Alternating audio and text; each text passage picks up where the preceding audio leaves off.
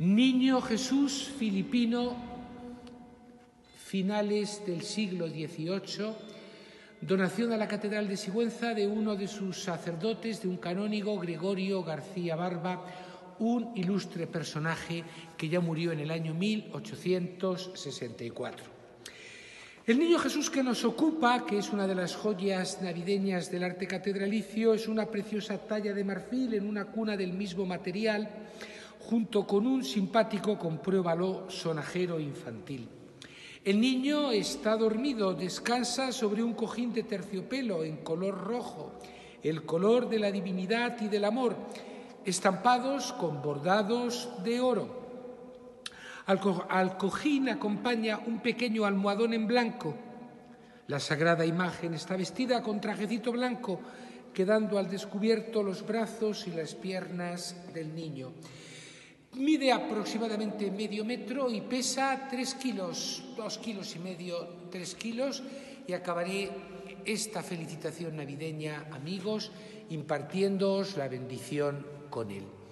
Lo tenemos para el culto en San Pedro, donde tendremos todas las celebraciones navideñas, desde la Misa del Gallo a las 7 de la tarde por razones obvias, a la Misa de Pascua que presidirá el Obispo el día 25 a las 12, y en un templo al que le hemos llenado de luz, comprueba sus bóvedas preciosas a plena luz. Nos queda algún pequeño remate, pero a plena luz y es que en medio de la noche, mientras en la vida se hacen tantas oscuridades, es importante el que los símbolos externos nos recuerden que Cristo es la luz del mundo. A mi izquierda te voy a mostrar ahora el Belén parroquial de San Pedro, que también nos acompaña durante estos días, un Belén italiano también muy hermoso, lo que es el misterio principal con los ángeles, como ves, con mucha flor, mucho símbolo, la doblemente la luz, San José, María y el niño, y a mi derecha te encontrarás con algunos de los numerosos objetos, alimentos no perecederos que nos han llegado de la operación Kilo para Caritas. Que Navidad sea luz en tu vida, aunque andes en tantas tinieblas, no tengas miedo. Dios es la luz y quiere compartir su luz contigo precisamente porque te duele la vida o porque en cualquier caso sufres alguna oscuridad.